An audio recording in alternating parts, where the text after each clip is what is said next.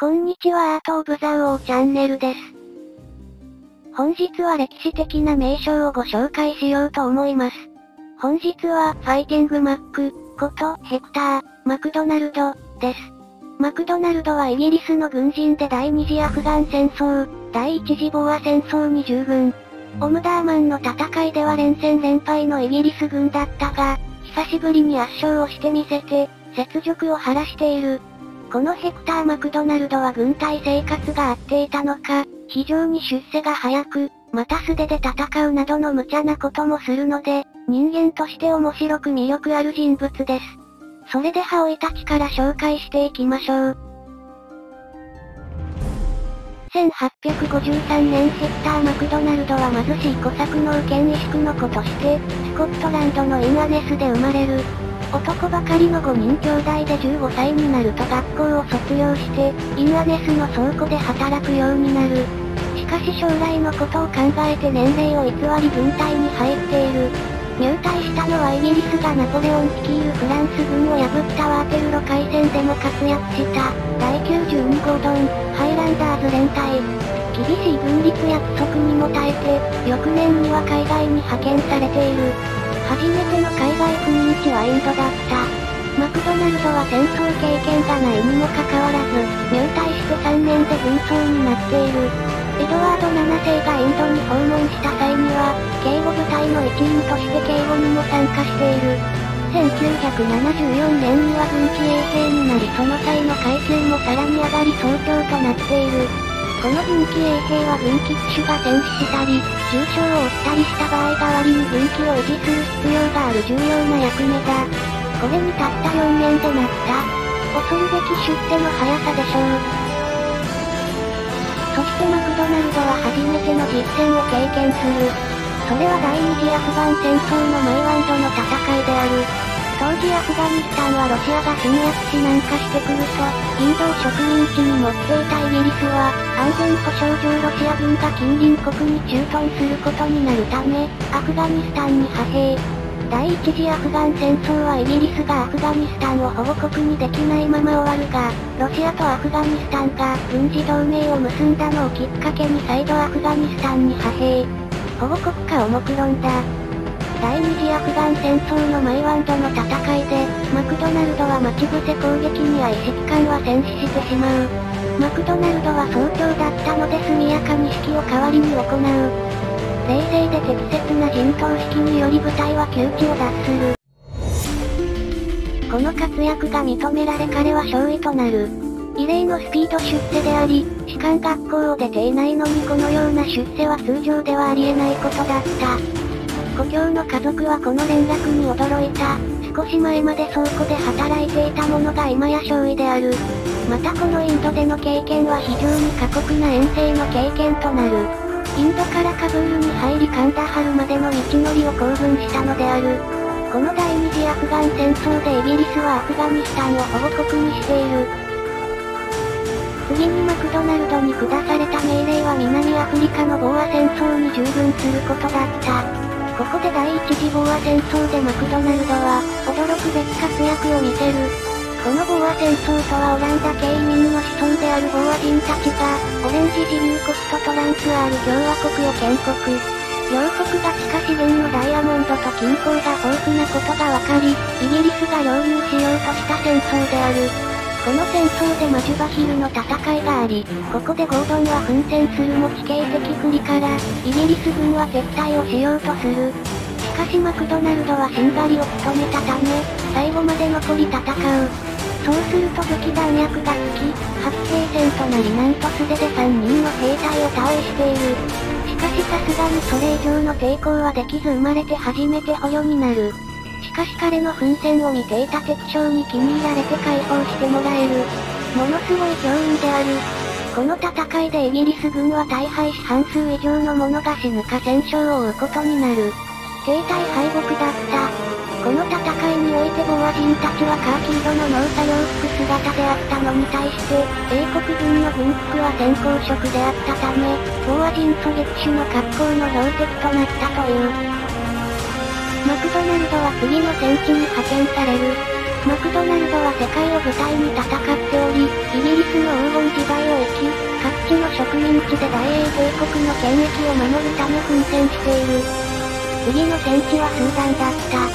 ここはイギリス領エジプトの管理下にある国で、エジプトと南に隣接している国だった。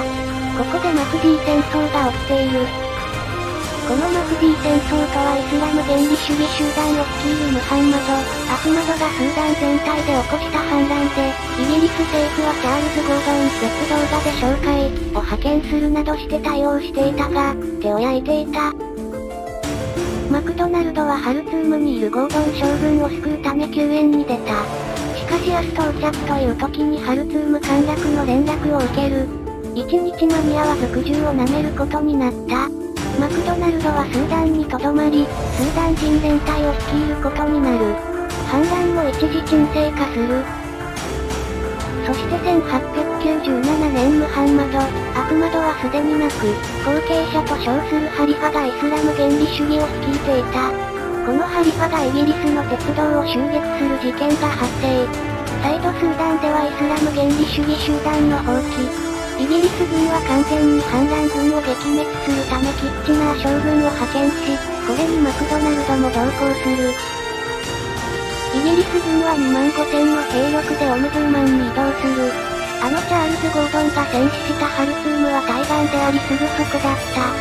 ここでイギリス軍は野営することになる。そこにハリファ率いる5万の大軍がイギリス軍を包囲していた。ここにヘクター・マクドナルドが見事な活躍を見せ、ハリファ軍を壊滅させたオムダーマンの戦いが始まる。それでは今回の戦地を見てみましょう。まずスーダンですがエジプトの南の国で砂漠の国と言っていいくらい砂漠地帯が多いです。オムダーマンの戦いはスーダン中央部のハルツームのすぐ北側です。